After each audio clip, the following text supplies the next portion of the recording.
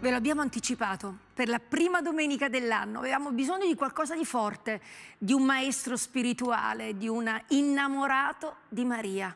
Volete sapere chi è? Venite con noi.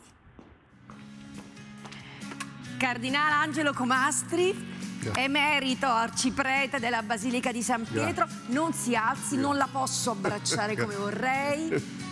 Io le devo anche un grazie personale, Eminenza, perché nei miei mesi difficili lei non mi ha fatto mancare neanche un giorno la sua carezza. Io, di questo non la, io per questo non la dimenticherò mai. Glielo voglio dire proprio in apertura di questo nostro momento. Eminenza, ci siamo lasciati qualche ora fa un, insomma, il capodanno, il primo dell'anno, ma dal punto di vista spirituale, dal punto di vista anche liturgico, c'è una ricorrenza importante. Maria, Madre di Dio. Ma chi era questa ragazzina?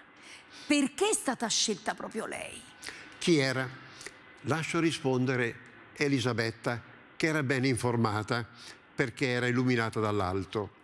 Quando, dopo un lungo, faticoso e rischioso viaggio, Maria arriva sulla soglia della casa di Elisabetta, Elisabetta dice, beata te perché hai creduto. È la fotografia di Maria. Maria è la credente per eccellenza, una fede senza ombre, senza tentennamenti, senza incrinature. Noi ci chiamiamo credenti, ma siamo credenti poco credenti. Quando il 4 gennaio 1964 Paolo VI, per la prima volta un papa ritornato in Palestina, davanti al Santo Sepolcro di Gesù, pregò così. Siamo qui, Signore Gesù. Siamo tornati come i colpevoli tornano sul luogo del delitto. Siamo venuti come colui che ti ha seguito ma ti ha anche tradito. Tante volte fedeli, tante volte infedeli. È la fotografia della Chiesa. Eh, eminenza, una fede senza ombre, ha detto lei. Sì. Ma che cosa vuol dire? In che cosa si traduce praticamente? Andiamo all'Annunciazione. Immaginiamo quel momento. Maria è in casa, una povera casa di Nazareth. Nazareth è un piccolo villaggio e le case, case di povera gente, addirittura i pavimenti erano terra battuta. Maria è in casa, probabilmente è orfana, perché non si parla mai dei suoi genitori nel Vangelo. È giovanissima, sta in casa, le sue faccende di sempre, promessa sposa a Giuseppe.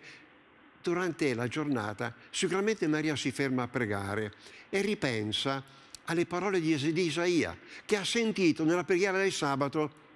Isaia dice, il popolo che camminava nelle tenebre vide una grande luce su coloro che abitavano in una terra tenebrosa una luce rifulse, ha moltiplicato la gioia, ha aumentato la letizia, perché un bimbo è nato per noi, ci ha dato un bimbo sulle sue spalle la sovranità e sarà chiamato consigliere ammirabile, Dio potente, principe della pace. Ma Maria si domanda, e chi è? E quando verrà costui? E chi sarà la sua mamma? Chi sarà la sua mamma? Mentre si pone questa domanda, la stanza si illumina piena di luce e vede un angelo davanti a sé. Maria lo interroga con gli occhi, puoi dire, ma chi sei? E l'angelo risponde, sono Gabriele, sono stato mandato da Dio, gioisci, tu che sei piena di grazia, che sei abbracciata dalla benevolenza di Dio, il Signore è con te. Maria si sente turbata, lo dice l'Evangelista. Come fa a non aver paura? La paura perché Maria non si sente degna di quel saluto. Sembrava sproporzionato a lei perché Maria era umile, ma non ha tempo di pensare perché l'angelo dice concepirai un figlio, lo darai alla luce, lo chiamerai Gesù, sarà grande, chiamato figlio dell'Altissimo, siederà sul trono di Davide suo padre, il suo regno non avrà fine. Maria, davanti a queste parole, ha subito un momento di, di turbamento e dice, ma io ho sentito un'ispirazione per consacrarmi totalmente al Signore. Mi sembrava un'ispirazione, anche Giuseppe è d'accordo con me. L'angelo risponde, ecco il momento della fede. Guarda che la tua verginità sboccerà in maternità. Mai accaduto e mai ripetuto evidentemente. Lo Spirito Santo scenderà su di te. Eminenza. E Maria, attenta, Maria è davanti all'angelo e l'angelo aspetta la risposta. Maria poteva dire, ah cavolo mio, eh, eh, non è roba per me? No, in che guai mi metti? Eh, certo. se io dopo esco e dico mi è perso un angelo, ho, ho concepito un figlio, figlio mio di Dio, cosa mi dicono? Chi mi crederà? No, viene da Dio, Maria, eccomi sono la serva del Signore, avvenga. Io mi commuovo a dire queste cose, che fede. Eminenza, com, come dire, commuove anche noi immaginare che allora come oggi un annuncio del genere spariglia tutti i piani. Questa ragazza, raga, io mi ho detto ragazzina per dire la tenera età, Giovane, attenzione, giovane età. sui 18 anni. Esatto, che aveva altri progetti con un uomo meraviglioso, che poi sarebbe stato San Giuseppe, l'abbiamo capito tutti, e che dice sì quell'eccomi. Possiamo portarla Eminenza, in casa di qualcuno che anche aveva tutti i piani, sa, perché sposata, tre figli, un artista che riprende la sua attività e poi dopo, toc toc, bussa un'altra creatura, arriva un'altra maternità dopo la terza molto complicata. E Diana che ci aspetta a Sava, a Taranto, a casa sua. Diana, buongiorno, buon pomeriggio, è il caso di dire, vista l'ora. Diana, Buon pomeriggio. Ah, eccoli qua. Scusateci, Ciao. vogliamo sapere quanto avete mangiato l'altro ieri, eh? insomma il 31. Mi raccomando, grazie per questa sorpresa. Allora, intanto vorrei salutare Giuseppe, se non mi sbaglio, vero? Poi c'è in braccio Benedetta Francesca, sì. giusto? Se me li fate vedere un momento così sì, io me li... Sì, ecco, l'ultima arrivata. L'ultima arrivata. Ciao papà Emanuele, buongiorno, buonasera. Mi fate vedere perché c'è un attimo la camera. Allora, chi abbiamo vicino? Sto un po' lontana. Emanuele, chi c'hai in braccio? Buongiorno. Gabriele Pio, lo vedo, benissimo. Io ho in braccio i miei due pupilli, Gabriele Pio e, e Beatrice, Beatrice Maria. Maria. Ciao tesori, buon anno, buon anno. Diana, allora, l'eminenza ti ha fatto un sorriso. Buon anno a te Lucia, Come se avesse visto la Madonna io, veramente.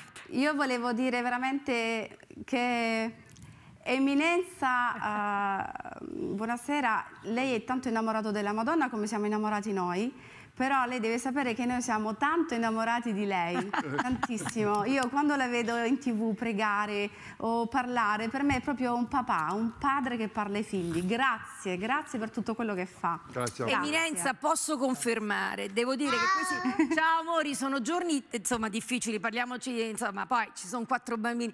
Quando Diana mi ha detto ma qual è la situazione? Ha detto c'è il cardinale. Non ha detto guarda, a costo di metterci noi a casa, di non muoverci per questo pomeriggio di festa, noi ci saremo. Diana, allora diciamo anche un'altra cosa. Sì. Dopo Gabriele Pio hai ripreso la tua attività, tutto bello, sistemato, eccetera.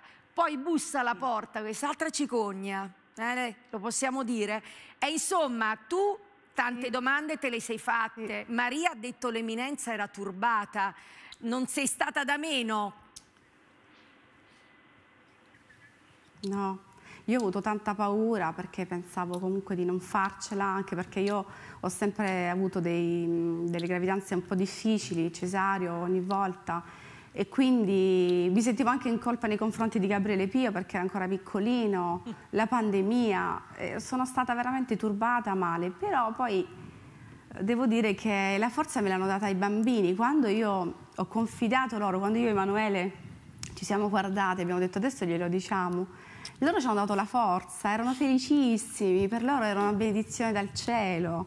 Poi c'è da dire che Beatrice pregava ogni sera perché eh, voleva nel suo cuore a tutti i costi una sorellina, quindi ogni sera diceva ti prego Gesù manda una sorellina, ogni sera. Eh, eh beh, questo è, è il regalo più bello che ci potesse essere. Con tutte le Eminenza, paure eh, la spontaneità e devo dire anche la grande sincerità di Diana è credo l'interpretazione di quello che avremmo pensato tutti. È una famiglia già come dire con degli schemi prefissati dove finalmente si riprende anche una certa cosa e poi Dio che scombussola i piani.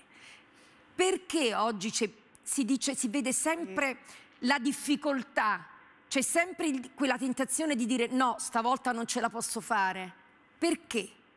Mentre Maria subito ha detto va bene, ho capito il Perché ecco. viviamo in un'epoca di poca fede. Noi diciamo di credere nel Signore, ma soprattutto crediamo in noi stessi.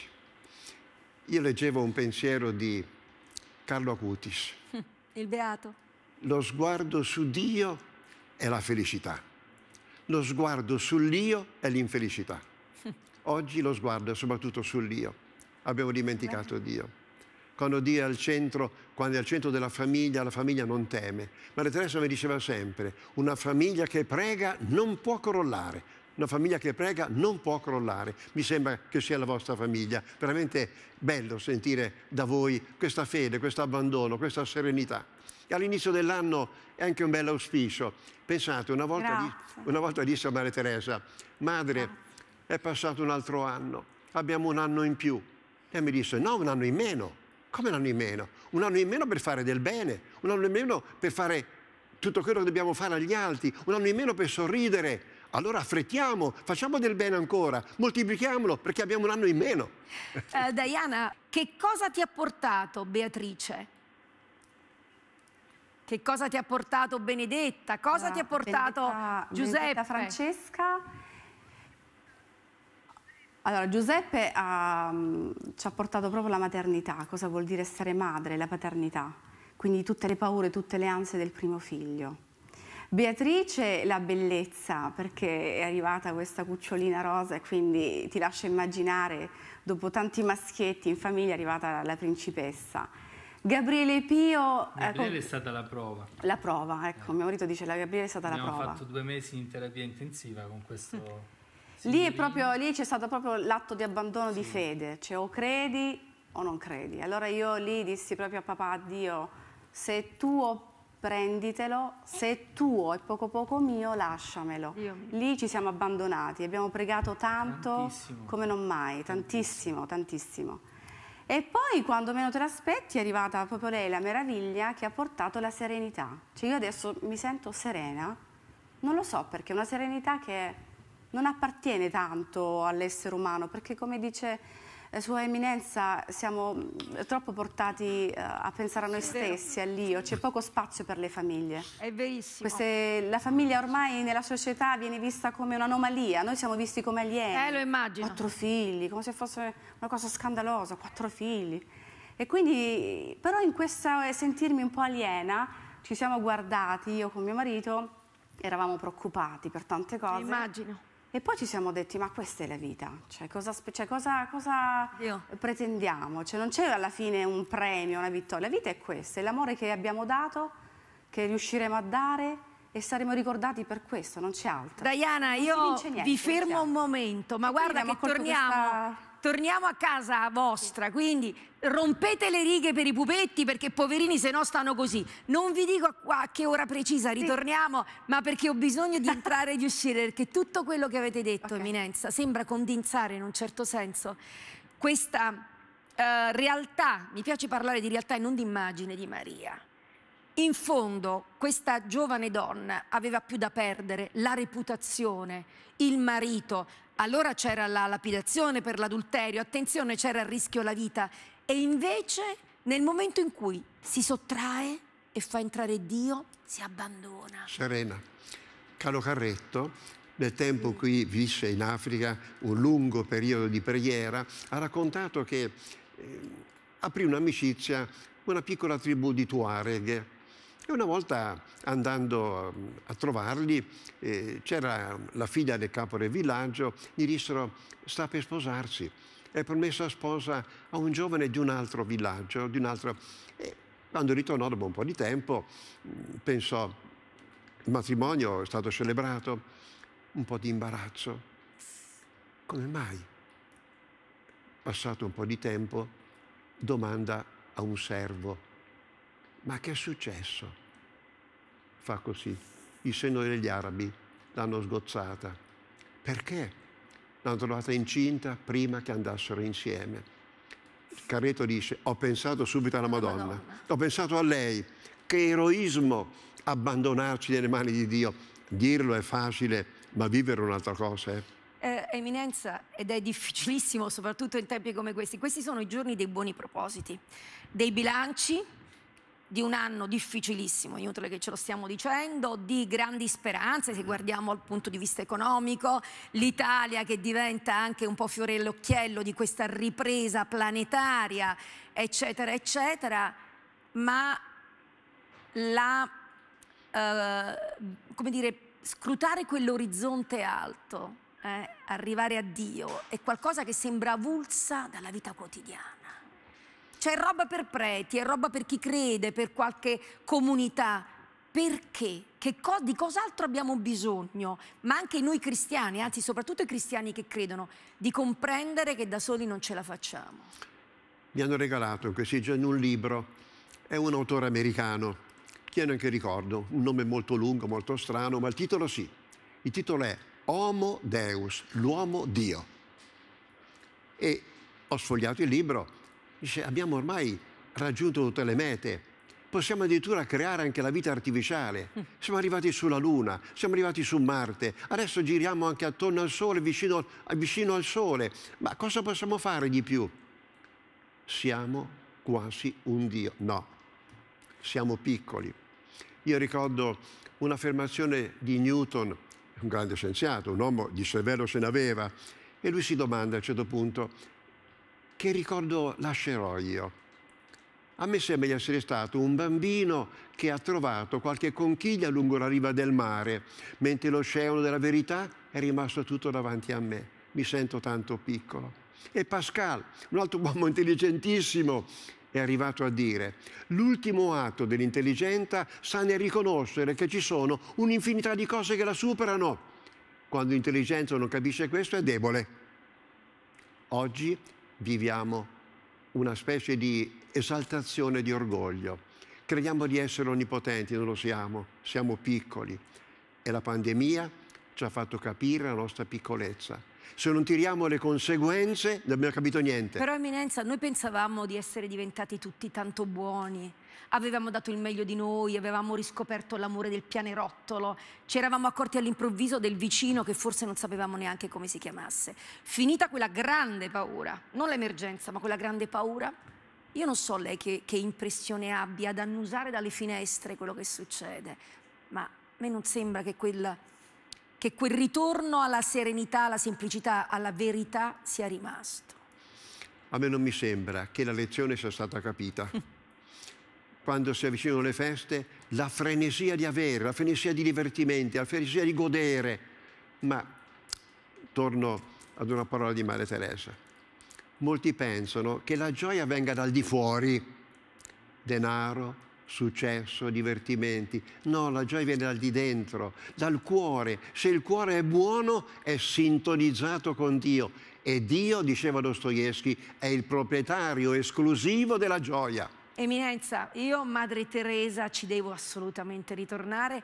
Una delle donne della sua vita, lo posso dire, quelle donne che hanno accompagnato il cuore grande del cardinale. State con noi, dopo la pubblicità e luce, noi il 2 di gennaio possiamo fare solo quello, regalarvi un pizzico di luce.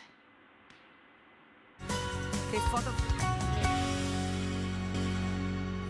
Bentornati a Finalmente Domenica, ve l'abbiamo promesso, volevamo regalarvi un po' di luce eh, da inizio anno, è la prima domenica dell'anno, abbiamo lasciato una festività, quella di ieri, che è proprio Maria, Madre di Dio. E noi ci mettiamo sulle tracce di Maria con il Cardinale Angelo Comastri, che ringrazio personalmente per averci dedicato questo spazio di domenica. Tra l'altro poi correrà, credo, a San Salvatore il Lauro, quindi state tranquilli.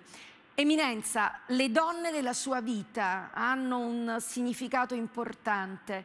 La stiamo vedendo, Madre Teresa, quando lei era uh, vescovo di Massa Marittima Piombino. Mm?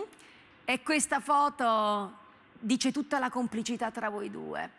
Cosa ha portato Madre Teresa nella sua vita? Madre Teresa è la mia mamma, sono eh. state le donne della mia vita, dopo la Madonna evidentemente. Madre Teresa, io ricordo quando andai a trovarla l'ultima volta, il 22 maggio 1997.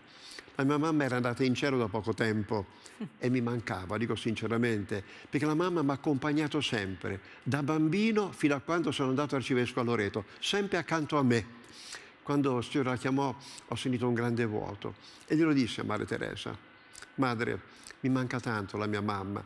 Ma lei meravigliata mi disse, ma guarda che le persone in cielo non si allontanano, sono più vicine. La mamma ti è più vicina ora di prima.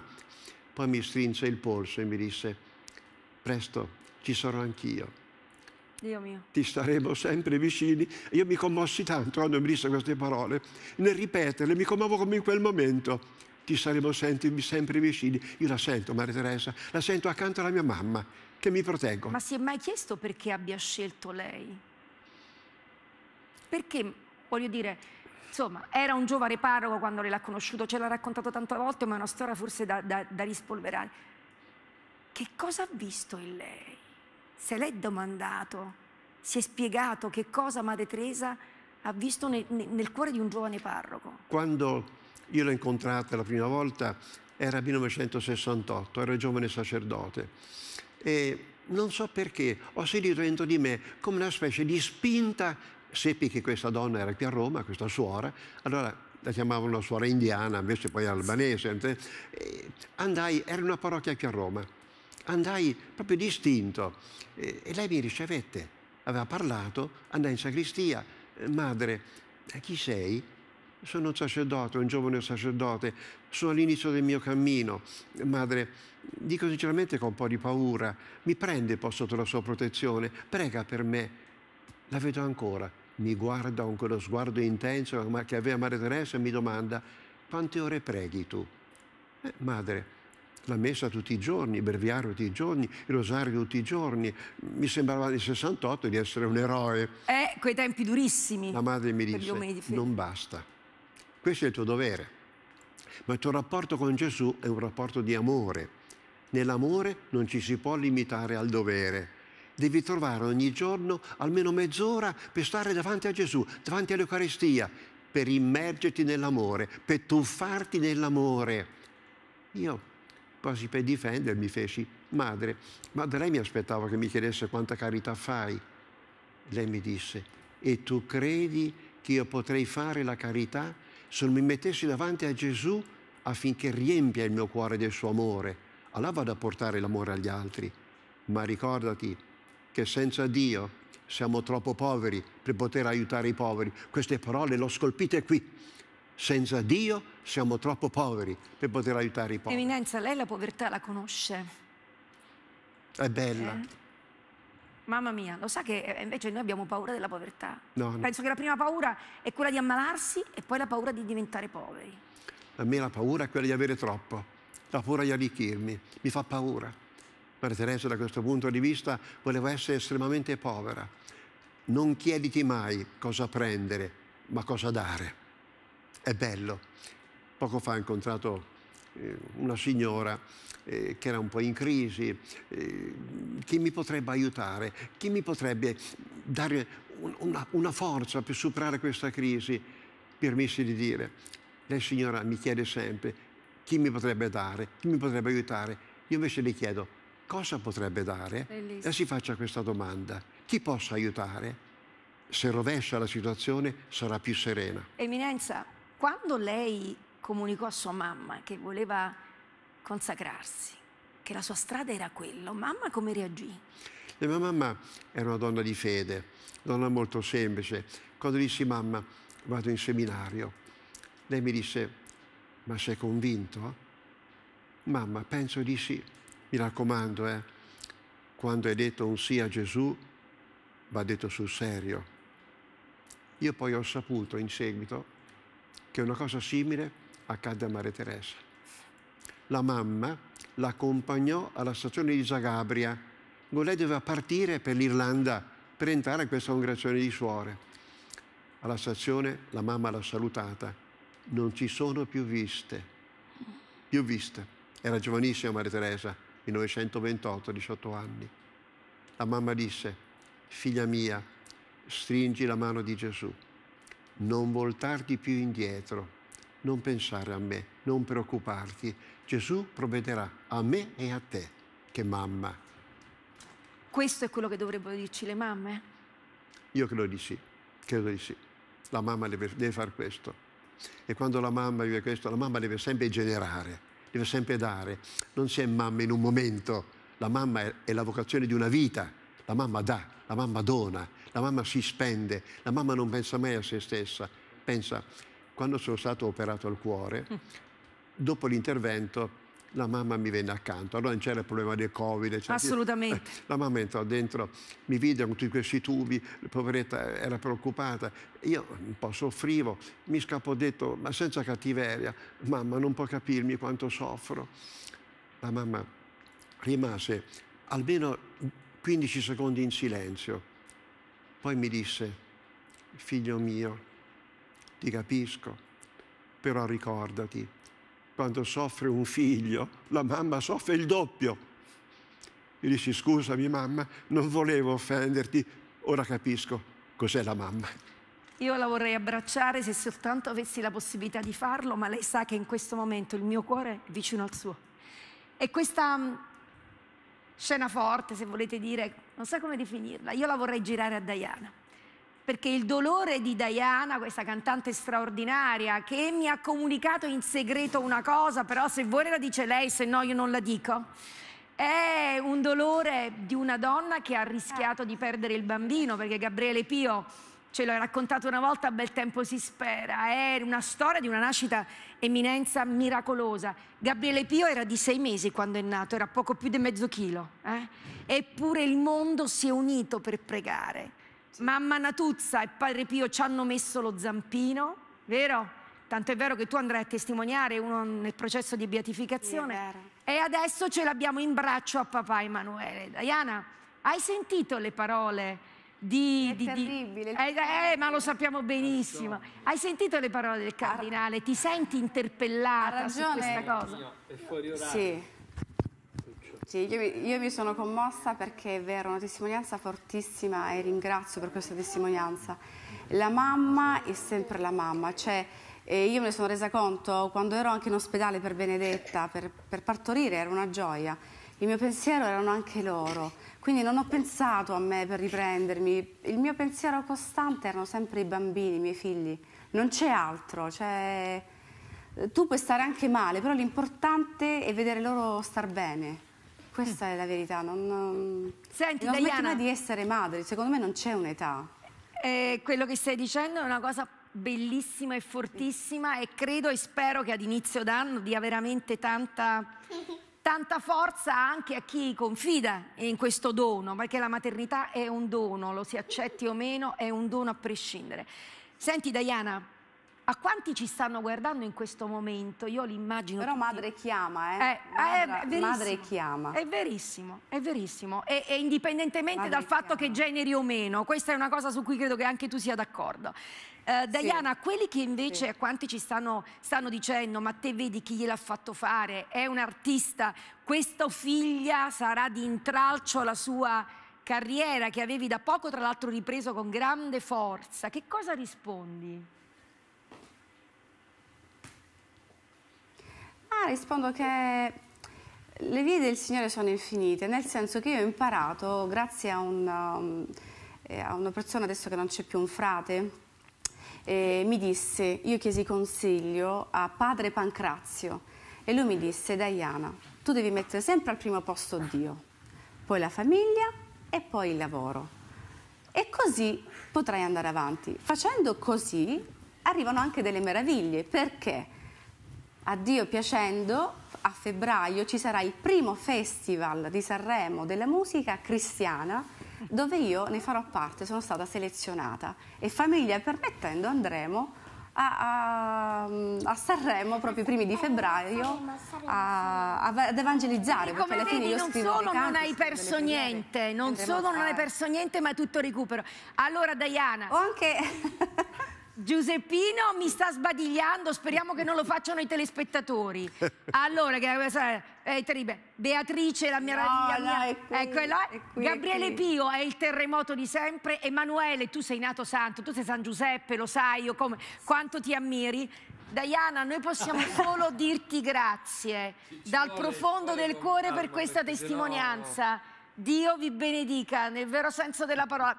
Sei la nostra Maria in questa puntata bellissima. Grazie, veramente grazie, Grazie, di cuore. grazie. Eminenza, Eh, magari, questa magari. domanda era importante, questa risposta Grazie a Mi soprattutto. scusate, siete bellissimi. Ciao amori, siete bellissimi voi, perché mh, si ha sempre l'idea, oddio, divento mamma o divento papà, chissà cosa perdo.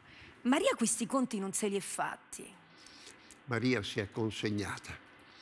È la libertà che si è aperta totalmente a Dio. Nessuna libertà umana si è talmente consegnata come lei. Dante disse che la libertà è il maggior dono che Dio per sua larghezza fece all'umanità, lo maggior dono, ma molto spesso questa libertà la usiamo per tradire la libertà, per diventare schiavi. Maria ha usato la libertà per essere libera e consegnandosi a Dio si è veramente liberi. Sant'Ambrogio disse, Dio è l'unico Signore che non toglie la libertà, ma dà senso alla libertà. Quanto è importante questo? Eh, eminenza, perché anche per chi crede. Tutto questo, che è sacrosanto, che è verissimo, diventa però così difficile da vivere. Perché questo scollamento? Anche, ripeto, in chi si accompagna a Dio, chi questo Dio lo sente, perché in fondo ce lo siamo detti mille volte. Eh, il cristianesimo è un incontro, è un abbraccio tra un padre che è anche figlio e tutti noi. Molto spesso noi non ci fidiamo di Dio, torno a ripeterlo, siamo credenti poco credenti e quel poco credenti è lo spazio dell'infelicità. Più aumenta la fede, più cresce la felicità, perché dove arriva Dio dà una grande contentezza, una grande gioia. Giovanni Papini, un convertito, lo chiamavano la belva di Firenze, poi è diventato l'agnello di Firenze. Quando dopo la conversione ha meditato il Natale, disse, ma perché Gesù è nato in una stalla? Quando c'è di mezzo Dio non può essere un caso, lì c'è un progetto.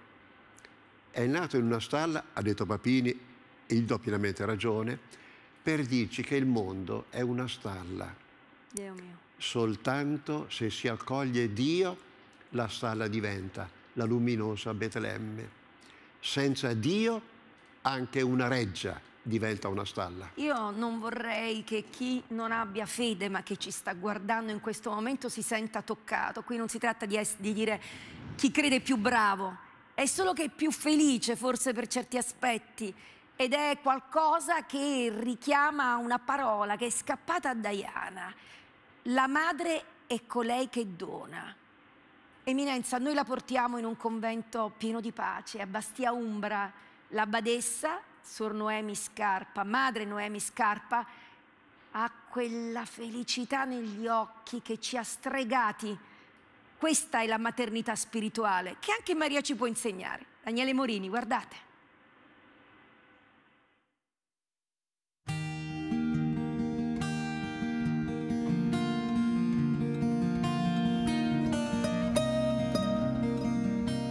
Sono sempre stata una ragazza molto vivace, piena di energie, con grandi ambizioni. Giocavo a pallacanestro e sognavo la Serie A. A un certo punto invece il Signore si è fatto presente nella mia vita e mi ha chiamato per una vita più interiore, spirituale, di dare un senso nuovo alla mia esistenza, un senso alla luce della sua parola. Così a vent'anni ho deciso di entrare in un monastero di clausura e dedicarmi alla ricerca di Dio, alla preghiera. Con tanti anni di formazione sono poi diventata una madre, la madre delle mie consorelle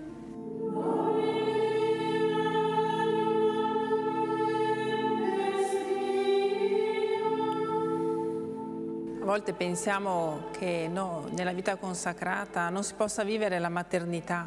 Pensiamo che noi donne consacrate non, non viviamo questa dimensione umana. Invece non è vero. Certamente a livello fisico, biologico no, ma la maternità non si riduce a una generazione biologica della vita. Ma la maternità è anche spirituale, una maternità che sa generare le persone alla vita, alla vita vera, alla vita vissuta, alla vita dello spirito. Come madre spirituale questo lo vedo continuamente, non solo con le mie consorelle all'interno della comunità, ma anche con tutte le persone che si avvicinano al monastero, che vengono e bussano alla nostra porta, che chiedono di essere ascoltate, di essere guidate, di essere accolte e comprese. Ecco che anche qui la maternità ha il suo valore, ha il suo intervento, è generativa.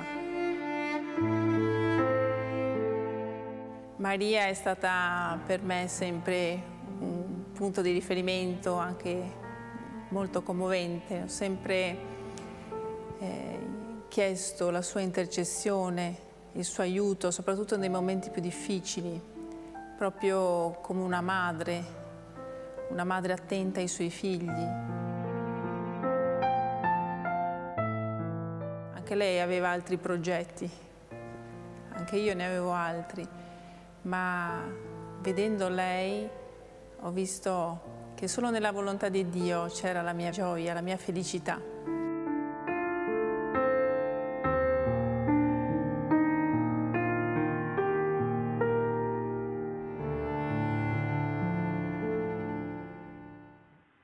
Scesa eminenza una pace qui dentro che farà riflettere e che credo sia arrivata anche a casa. La pienezza di questa donna e tra l'altro a questa donna bussano le persone più impensabili, ve lo posso assicurare, persone più lontane dalla fede a un certo punto, per un modo o in un altro, per un verso o per un altro, si trovano a bussare e a chiedere aiuto. La presenza di Maria, eminenza, nelle nostre vite, che cosa porta? È una madre. Io la Madonna la sento come mamma e sento che in qualche modo si sovrappone alla mia mamma o la mia mamma si sovrappone alla Madonna e la sento vicino a me per aiutarmi. Quante volte quando in qualche momento di difficoltà, Madonnina aiutami, Madonnina guidami, Madonnina dimmi cosa devo fare e sento che mi suggerisce, la sento vicina, sento questa maternità spirituale. Perché Dio ha avuto bisogno di una madre, Eminenza?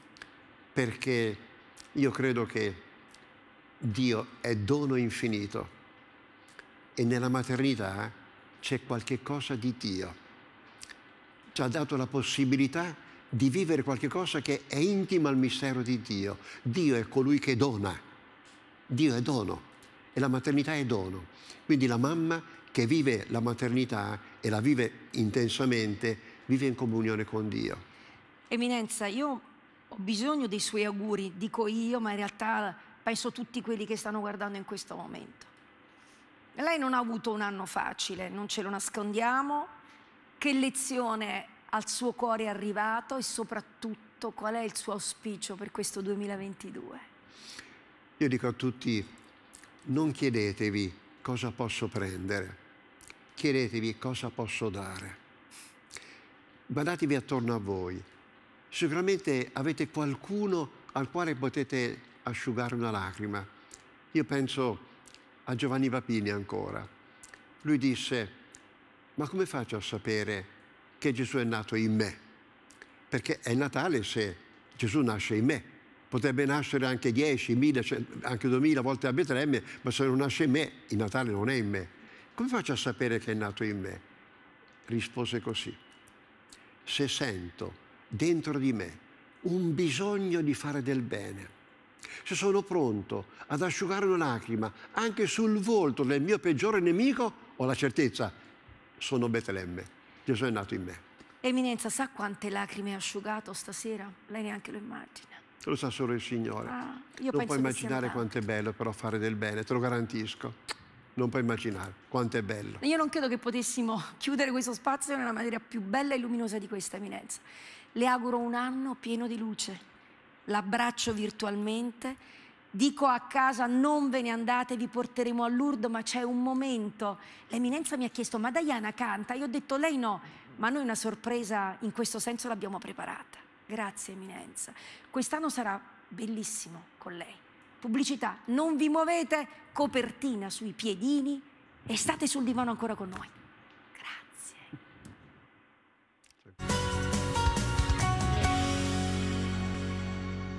Bentornati a Finalmente Domenica. Prima di andare a Lourdes, dopo il Cardinal Comastri, avevamo bisogno di un'esplosione di bellezza, di continuare ad incantarvi se possibile. Beh, L'11 dicembre scorso hanno eseguito il loro primo concerto online e hanno cantato il Natale in tutte le lingue del mondo. Io sto sentendo che si stanno preparando, sono pronte, le state vedendo, signore e signori, in esclusiva, in esclusiva a finalmente domenica. Legge in verde, prego.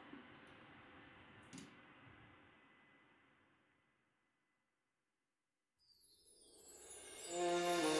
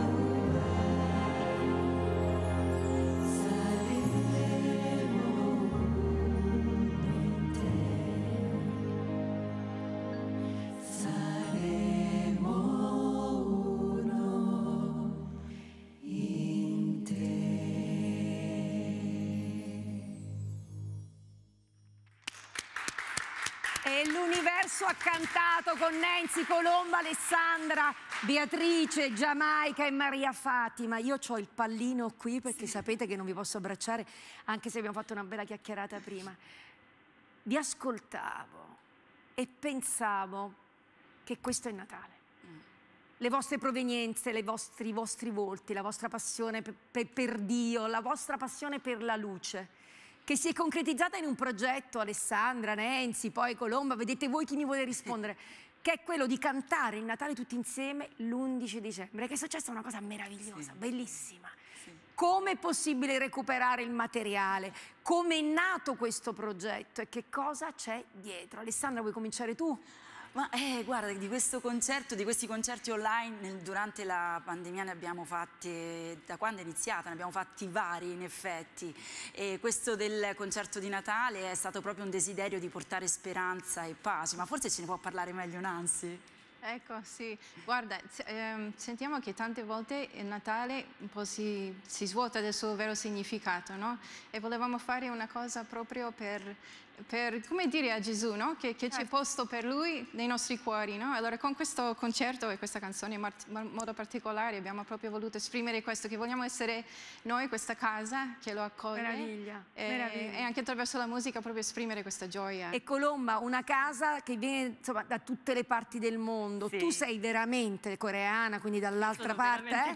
eh? Eppure qui, insomma, finanche l'Europa ha rischiato di dimenticarsi che Natale non è Babbo Natale, ma Natale, scusate se ve lo ricordiamo sempre, è Gesù Bambino che nasce. Sì.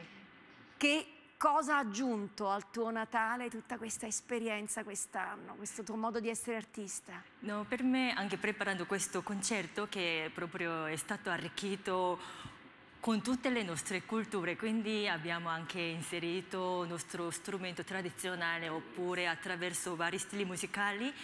Ecco, appunto, hai- abbiamo anche scelto delle canzoni che molto amate dalle- proprio da parte nostra, così. Allora, facendo questo, noi veramente abbiamo voluto esprimere la ricchezza della diversità che è in dialogo. no? E poi non so cosa possiamo ancora aggiungere per il concerto, perché c'è un... ah, per questa occasione abbiamo formato un coro con i bambini giovani di Loppiano, che è la nostra città che è Eh, internazionale certo. appunto. Allora, creando anche un momento di famiglia, un momento di famiglia grande, mondiale, questa esperienza ci ha arricchito tantissimo. Alessandra, una curiosità. Sì. Emanuel, Dio con noi, dice tutto. Sì. Qual è il vostro augurio per quest'anno? Eh, beh, di ritrovare proprio in questo, cioè ri- riscoprire in questo bambino la possibilità di rinascere, rinascere insieme e, e quindi eh, crederci ancora, ritrovare veramente il senso del Natale in questo fare casa a lui e quindi a tutti quelli che abbiamo intorno. Siete così credibili nella vostra arte, nella vostra bellezza che noi di questo siamo certi. Grazie Gen Verde, grazie di essere state con noi. Io mi posso spostare, me ne vado perché lì c'è un altro richiamo. C'è un'altra Maria, è lei, la Madonna che ci aspetta a Lourdes.